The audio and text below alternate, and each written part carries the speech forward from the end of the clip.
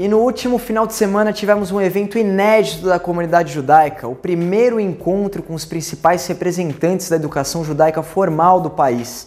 O evento teve curadoria da CONIB, contou com a presença de especialistas, professores e educadores.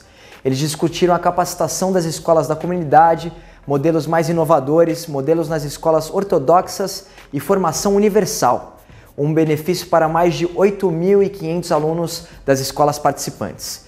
O evento ocorreu entre os dias 8 e 9 de março.